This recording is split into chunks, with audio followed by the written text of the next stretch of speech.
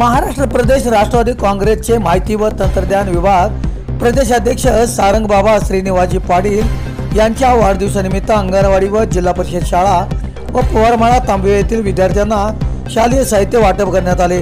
यावेळी सरपंच सो शोभाताई शिंदे उपसरपंच ॲडव्होकेट विजयशिव पाटील सह्याद्री कारखान्याचे संचालक रामचंद्र पाटील ग्रामपंचायत सदस्य देवानंद राऊत सदस्यासो रेश्मा वाडते बाळासाहेब शिंदे गुणवंत पाटील संभाजी पवार दत्तात्रय चव्हाण सुभाष चव्हाण राहुल पाटील अतुल पवार रोहित पवार यांच्यासह शिक्षक पालक अंगणवाडी सेविका उपस्थित होते.